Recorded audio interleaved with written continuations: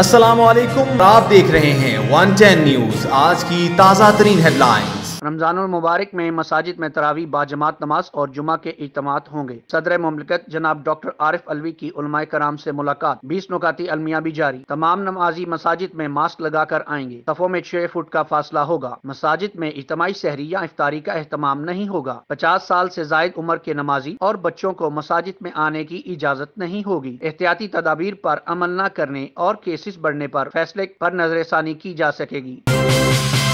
पाकिस्तान में corona virus अंदाजे से कम फैला। 25 अप्रैल तक पचास हज़ार केसेस का तखमीना था। अल्लाह का शुक्र है, बड़े नुकसान से बचे हैं। 15 से 20 मई तक केसेस बढ़ने का खदशा है। वज़ीर आज़म इमरान खान की प्रेस ब्रीफिंग। कहा गया कि लॉकडाउन को डंडे से नहीं चलाया जा सकता। लोग भूख से सड़कों पर आ गए तो लॉकडाउन का कोई फ़ायदा नहीं वज़ीर आज़म ने एक बार फिर जखीरा अंदोजों से सख्ती से निमटने का ऐलान कर दिया। कहा, आप मैनेजर को नहीं, मालिक को पकड़ेंगे।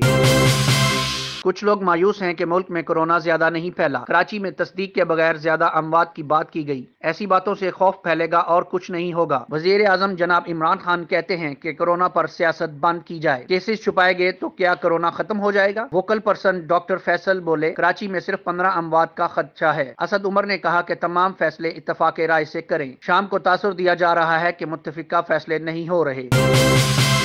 ये वक्त आपस में नहीं, कोरोना से लड़ने का है। वफाकी हुकूमत अपना किबला दुरुस्त कर ले। पी पी पी रहनुमा सेनेटर शेरी रहमान की प्रेस कॉन्फ्रेंस कहा की कोरोना ऐसी निमड़ने के लिए दहशत गर्दी के खिलाफ जंग के तर्ज आरोप कौमी एक्शन प्लान बनाया जाए। वबा के खिलाफ तमाम वसाइल बरूए कार लाने का मुतालबा। वज़ीर अला सिंध ने ताजरों से मुलाकात के बाद मार्केटें मरहलावार खोलने पर मशरूत आमादगी ज़ाहिर कर दी। सफारशात तैयार करने के लिए कमेटी कायम। सत्रह बरामदी सनतों को भी काम करने की इजाज़त मिल गई। कमिश्नर कराची ने रेस्टोरेंट, तंदूर और बेकरियाँ खोलने की इजाज़त दे दी। बाहर निकलने वाले शहरियों को मास्क लगाना लाजमी करार।